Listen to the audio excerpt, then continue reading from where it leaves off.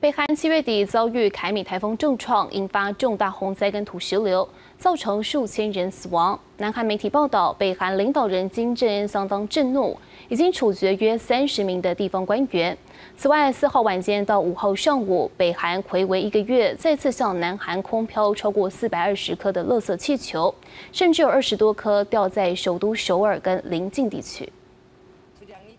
在地方官员的搀扶下，北韩领导人金正恩慢慢走下小山坡，搭乘冲锋艇巡视灾情。北韩七月底因为凯米台风侵袭，造成北部慈江道跟平安北道地区严重的洪灾与土石流，酿成四千人死亡，一万五千人无家可归。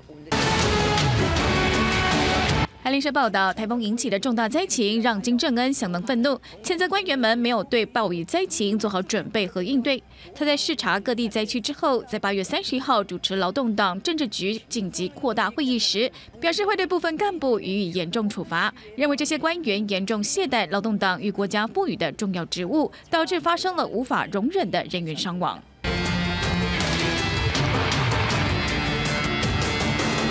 根据《纽约邮报》引述南韩媒体 TV 朝鲜的报道，金正恩在八月底以在洪灾期间涉及贪腐失职为由，下令处决二十名到三十名地方官员。这些官员多半是重灾区慈江道的官员，而包括北韩的社会安全大臣平安北道以及慈江道党委会责任书记姜凤勋，以及朝鲜劳动党公安部长李泰燮，都在紧急会议中因此遭到撤职。不过，目前传出处决官员的消息还无法获得证实。除了洪灾惩处官员之外，北韩再次向南韩空飘了垃圾气球。根据韩联社引述南韩合同参谋本部消息报道，北韩四号晚间向南韩空飘了大约四百二十个垃圾气球之后，五号早上九点多又飘放了另一批垃圾气球。目前已经有二十多个气球掉落在首尔跟京畿道北部。当局检验气球之后，发现飘放的物品是废纸、塑胶瓶等垃圾，没有有害物质，不会对大众形成安全风险。而这也是北韩回归一个月之后，今年第十三次向南韩空飘垃圾气球。